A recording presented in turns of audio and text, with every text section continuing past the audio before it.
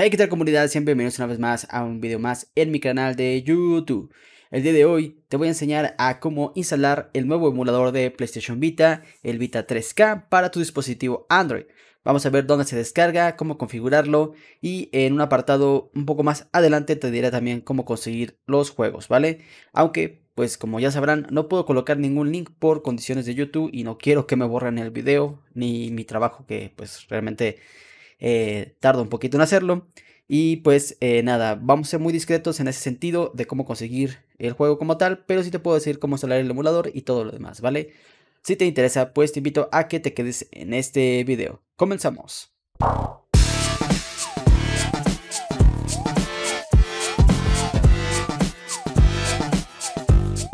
Así es muchachos, entonces comenzamos con este tutorial. Lo primero que tenemos que decir antes de instalar este emulador son muchas cosas eh, importantes que tienen que tomar en cuenta, ¿vale? Este emulador está en, sus primeras fases de desarrollo, está en versiones beta o en versiones que pues son experimentales al día de hoy. Eh, ya se han lanzado dos APKs, una primera versión que es la 1.1 y ahorita ya se lanzó como una versión 1.2, ¿vale? Más o menos es así como está la cosa. Pero pues eh, poco a poco, conforme vaya pasando el tiempo, van a ir mejorando en el apartado del emulador, ¿vale? Entonces, eh, teniendo en cuenta que es un emulador experimental, no esperen poder jugar todos los juegos eh, comerciales como God of War o Call of Duty o todos los juegos pesados en su dispositivo ya que no es tanto el problema de su dispositivo, sino más bien es que pues está todavía muy verde el emulador, ¿vale? Entonces es algo importante que tienen que tomar en cuenta antes de instalar el emulador, porque yo sé que muchos van a instalarlo y van a decir, ok, vamos a, poder jugar todos los juegos de PlayStation Vita, no. Hasta el día de hoy todavía no se puede ejecutar todos los juegos ni en, ni en PC. O sea, imagínense, si no se puede ni en PC al 100% todos los juegos, pues mucho menos se va a poder en Android, ¿vale? Entonces vamos al siguiente punto. En el siguiente punto que quiero que ustedes tomen en cuenta es de que eh, existen muchas aplicaciones falsas por ahí por la web eh, que no es realmente la aplicación oficial. Así que tengan mucho cuidado al momento de instalar eh, una versión que vean por ahí por Google o donde ustedes normalmente bajan sus, sus emuladores y demás este, es importante que siempre descarguen el emulador de forma oficial en su página oficial, ¿vale? Vamos a ir ahorita y obviamente lo que sería el enlace del sitio oficial donde se descarga el emulador, se lo voy a dejar en la descripción del video o también en los comentarios, ¿vale? Entonces es algo muy importante, no instalen cualquier aplicación y tampoco de la Play Store, porque obviamente conforme van pasando los días van a lanzar aplicaciones similares que van a contener publicidad que posiblemente vayan a dañar tu dispositivo y que realmente no va a ser el emulador como tal o va a ser una versión modificada y que realmente no va a ayudar bastante, no va a ayudar en nada a que tengas el emulador como tal, ¿vale? El original y el, este, pues más que nada el bueno. Bueno, entonces aquí ya lo están viendo en pantalla, ¿vale? Este es emulador como tal, está en español. Van a poder configurarlo de esta manera, así es como pues se ve por defecto. Van a poder cambiar también eh, algunos apartados de las imágenes, también van a cambiar algunos temas. Pero como les comento, ahorita todavía está muy fase de desarrollo, todavía hay muchas cosas que pulir. Y yo siento que en un futuro, más adelante, van a corregir esta interfaz y van a ponerla una mejor. Esperemos que sí. Si no, pues este, con que sea funcional, con eso es más que suficiente, ¿vale? Entonces así se ve el emulador como tal al principio, aquí vamos a poder encontrar lo que sería instalar el fireware, que es como básicamente los archivos necesarios para poder correr el, emulador de tu dispositivo, eso lo vamos a ver ahorita, y también vas a poder instalar el eh, PKG, algo muy importante es que tomen en cuenta que el MLPKG es como el formato de los juegos de PlayStation Vita que puede leer el dispositivo, también puede eh, leer formatos zip y también puede leer formatos MPK ¿vale? Entonces, esos son los formatos que este emulador eh, puede leer. Instalar una licencia, me parece que son para juegos que no están como eh, desencriptados o que no están como desbloqueados de cierta manera. No soy un experto en PlayStation Vita, nunca tuve una PlayStation Vita, pero pues he visto muchos canales de relacionados al tema, me gusta verlos. Le mando un gran saludo a toda la comunidad de PlayStation Vita, sé que son excelentes. Este información, eh, SR1, por ahí te mando saludos si es que estás viendo este video, carnal. Yo siempre seguido, siempre he seguido tus eh, eh, videos, aunque no tenga una PlayStation Vita, ¿vale? Pero bueno, vamos directamente. Entonces aquí también en la parte de emulación eh, van a poder ver las últimas aplicaciones utilizadas, los ajustes, la colección de trofeos, gestos de contenido y pues esos son los últimos que, van a poder encontrar, ¿no? Aquí en Depuk es como para ver pues toda la depuración que hay detrás. En configuración van a poder, ver, van a poder habilitar los ajustes del emulador como tal. Todo esto no vamos a moverlo por el momento, más adelante quizás vaya a hacer un video más en específico, pero por el momento todo está bien, ¿vale? En GPU, aquí pues este, son conforme eh, pues vaya pasando el tiempo, van a poder ustedes optimizar eh, mejor por, eh, gracias a las actualizaciones que el desarrollador lance en un futuro. Aquí en GPU se debe a la configuración gráfica. Así que todo esto vamos a dejarlo por defecto. Se pueden añadir también drivers como el Skyline para que si tú tienes un dispositivo que no sea 100% compatible, trates de instalar un driver este, y pues tratar de poder ejecutar el juego o quitarle algunos errores gráficos, ¿vale? Entonces aquí todo esto pues es en el apartado de resolución, aquí como en el caso del PPXPP, que es el emulador de PCP para Android y para PC, aquí también van a poder eh, ustedes aumentar lo que sería este, la resolución hasta, hasta un apartado de 7K o bueno en este caso 8K, ¿vale? Aquí en este apartado ya se me hace un poco exagerado, creo que por uno está bien, en la resolución original de PlayStation Vita que es 9060 por 544 si no me equivoco, pero van a poder aumentar un poco más para que, pues, por ejemplo, aquí en por 2 creo que es más que suficiente si tienen un dispositivo que tiene una pantalla 1080, creo que no hay necesidad de eh, subirle más, ¿saben? O sea, creo que es más que suficiente con esta resolución que hay. Aquí en Anti, eh, eh, filtro es para quitar lo que sería como eh, estas orillas de los personajes, en los objetos en 3D, en los dientes de sierra que se lo conoce. Así que lo vamos a dejar así como está. Usar Shade y Cache, vamos a dejarlo así como está. Todo esto vamos a dejarlo así como está por el momento. Si más adelante se mejora o si hay una, configuración en específico, vamos a hacer un video más avanzado, ¿vale? En System Aquí es para seleccionar si quieres, este, con qué botón quieres seleccionar, con cruz, con círculo, y en el apartado también de PC TV Mod. Realmente esto no sé qué sea, eh, desconozco totalmente. Sé que el PC TV Mod es para que conectes tu PC Vita a la televisión, pero no sé para qué funciona aquí en el emulador, ¿vale? Como sabrán, el emulador es muy verde. Apenas hace unas horas estuve, eh, lo instalé y estuve tratando de hacer algunos ajustes y demás y conocerlo más que nada, ¿vale?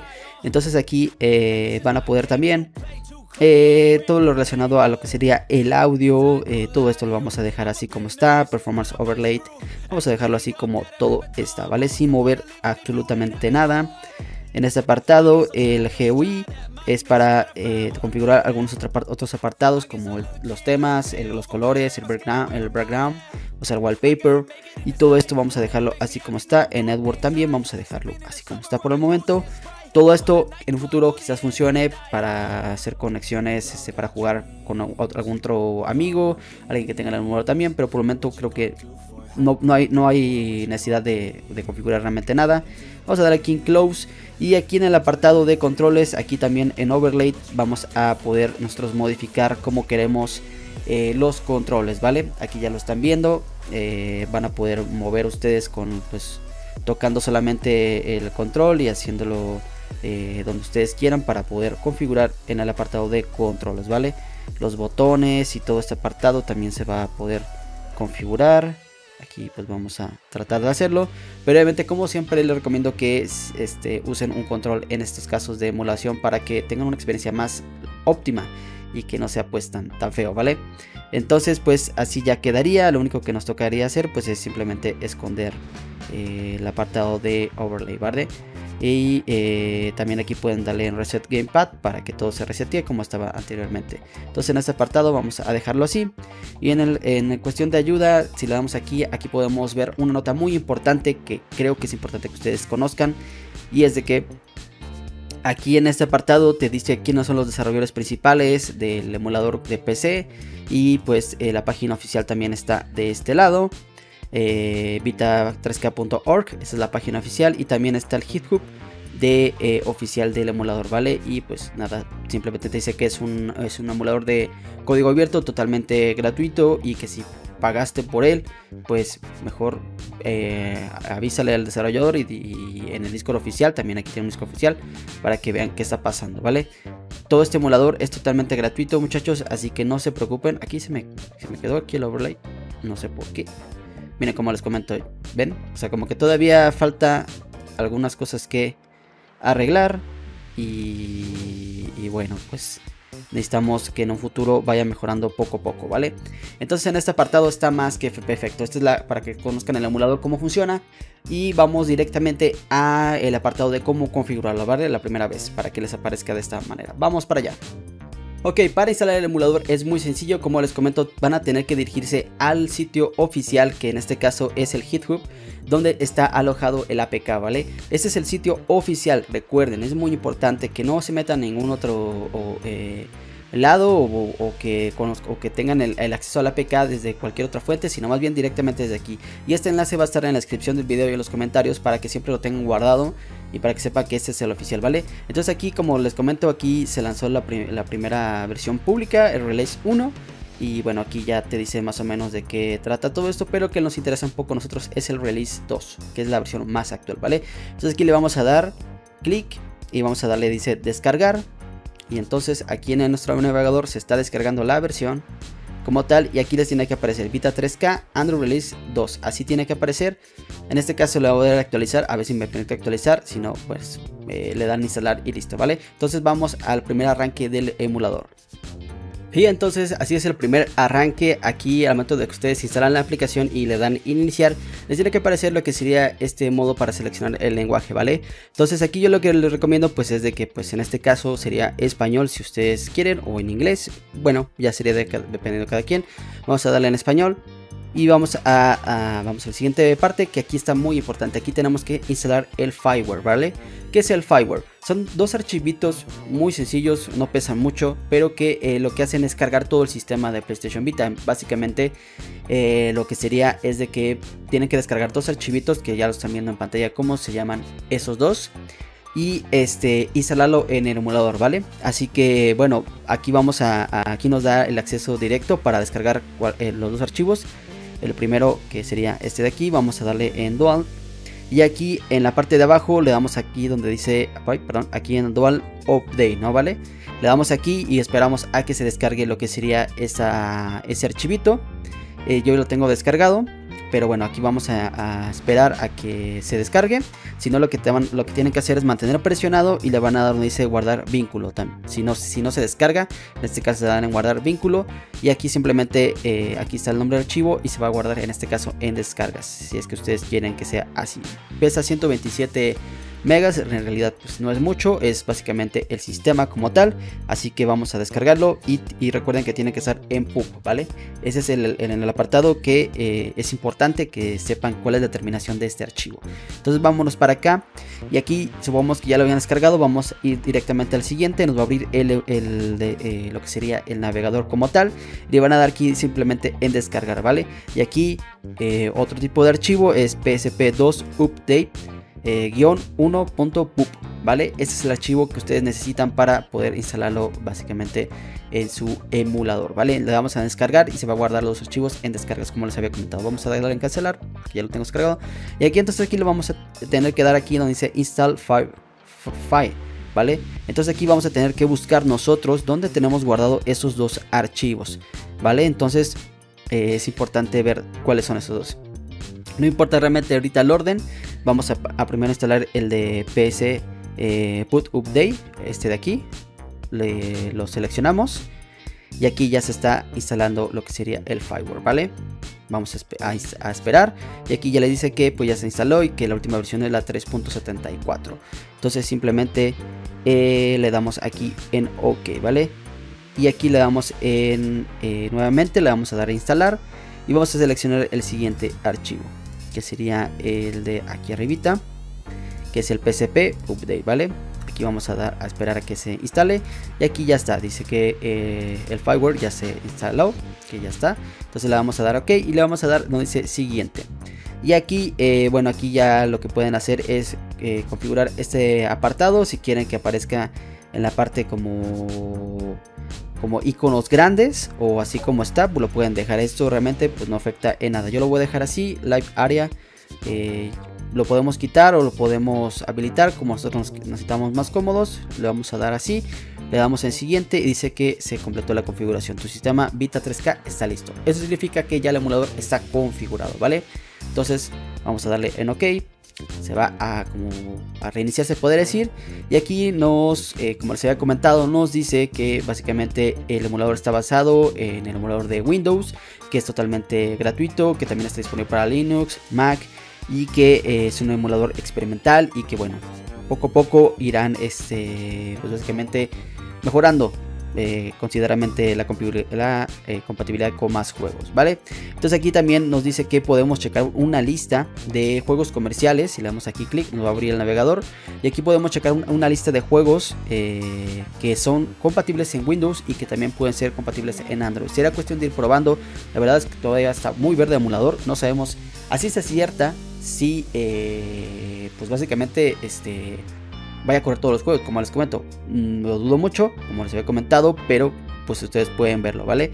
Y aquí aparece en inglés, pero lo que nos interesa a nosotros es este apartado verde que es eh, playable, que sería que los juegos que se puedan ejecutar sin problemas o con problemas mínimos, ¿vale? Es toda esta lista de juegos que ustedes pueden eh, ver. Obviamente también se los voy a dejar en la descripción del video si ustedes quieren ver. Estos son la lista de juegos que ustedes van a poder tratar de, instalar este, en el emulador y eh, ver la manera pues de eh, básicamente ver si se puede correr en su dispositivo. Recuerden que esto también depende mucho de la potencia de tu dispositivo, eh, la configuración. realmente ahorita no importa mucho porque casi, casi no hay una configuración como actual del emulador. O sea, si alguien te dice, pásame una configuración para correr God of War y es de no, todavía no se puede porque pues depende de la potencia de tu dispositivo, depende que tan que las actualizaciones futuras del, emulador y todos esos apartados, ¿vale? Entonces aquí está la lista de juegos que ustedes pueden eh, buscar en internet y pues eh, básicamente este tratar de, instalar, ¿vale? De tratar de correr ese emulador. Entonces vamos al siguiente punto. Y entonces aquí ya nos regresamos en este apartado. Simplemente le vamos a dar aquí donde dice. Eh, vamos a, quitar la palomita para que no nos vuelva a salir esta ventanita o si quieren que les aparezca pues simplemente le dejen la mantenida no cada vez que inician el emulador. Entonces aquí lo, en el siguiente apartado simplemente es crear el usuario. Aquí lo vamos a dejar así como está muchachos porque traté de cambiarle yo el nombre y cambiar también el avatar.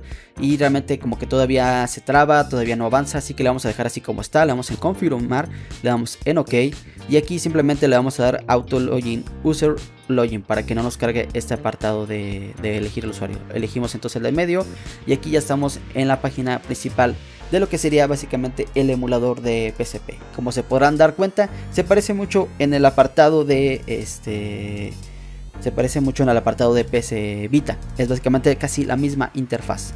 Entonces aquí le vamos a dar simplemente clic y aquí ya nos va a aparecer lo que sería pues eh, como las burbujitas para que ustedes puedan configurar y bueno todo ese apartado, ¿vale?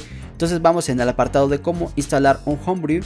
En este caso, eh, vamos para allá. Para instalar un Homebrew es muy sencillo, simplemente le damos en archivo, le damos a dar donde dice eh, PKG o BP, BPK, si es el caso, vamos a darle aquí, le damos en seleccionar eh, el archivo que tenemos y en este caso yo voy a instalar lo que sería el juego Mm, lo tenía por aquí, dejen ver dónde está, creo que lo está por acá, está en Telegram. Vamos a instalar el juego de eh, Call of Vita que está aquí, que termina en BPK, ¿vale? Entonces sí, vamos a darle aquí. Y aquí ya nos está cargando lo que sería el juego al emulador. Y aquí dice que ya se instaló el, juego. Entonces eh, básicamente ya podríamos iniciar el juego. Realmente no sé qué tan eh, peleable sea, qué tan jugable sea.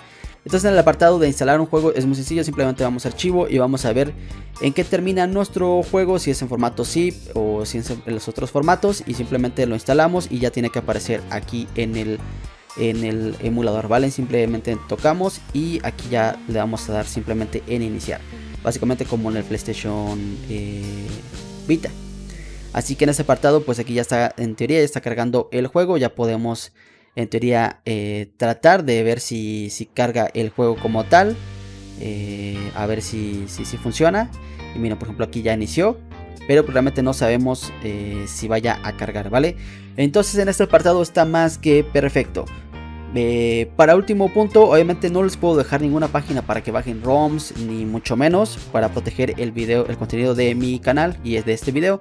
Pero lo que les puedo decir es que se unan a nuestro grupo en Telegram para poderte ayudar en ese sentido. Y también, eh, pues si tienes dudas relacionadas a este emulador, con mucho gusto trataré de contestar lo más que pueda. Sé que son mucha, eh, mucha gente, ya llegamos más a los, a los 6000. Muchas gracias a todos los que están presentes en la comunidad de Telegram.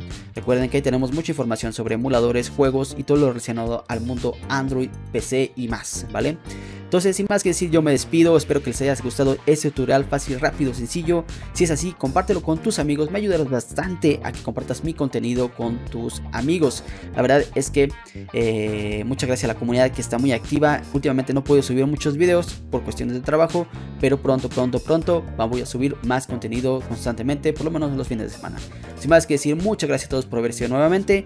Y yo me despido. Que estén bien. Hasta el próximo.